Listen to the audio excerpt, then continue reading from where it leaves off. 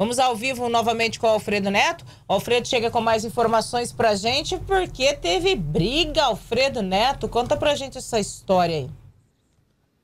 É, Ana, infelizmente uma briga que resultou em um estupro, aonde uma mulher de 40 anos acabou sendo agredida e violentada pelo ex-companheiro, um homem de 52 anos, lá no bairro Jardim Paranapungá, na rua Farisa Zaguir, no final de semana. O crime teria acontecido no sábado, mas a vítima procurou o Adam nesta segunda-feira para registrar o boletim de ocorrência.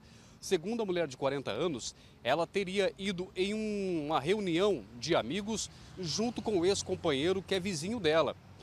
Durante esse encontro com amigos, houve uma discussão entre ela e o ex-companheiro por conta de ciúmes dele e os dois resolveram voltar. Ela voltou de carona com ele no carro do homem, já que morava do lado, acreditando que ele só daria a carona, mas o mesmo entrou com o carro para dentro da residência e tentou agredir a mulher a socos e arrancou a roupa dela, cortou a blusa, a blusa dela e começou a beijá-la à força e mordeu os seios dela. Enquanto mais ela gritava para parar, mais ele mordia.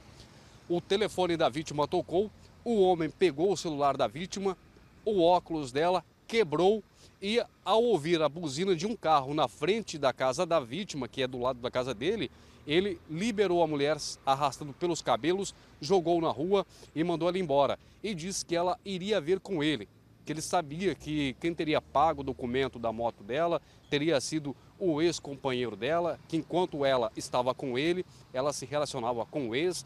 Enfim, um ciúmes infernal que levou essa vítima a ser agredida a socos, a ter os seios mordidos, a roupa rasgada por esse homem de 52 anos.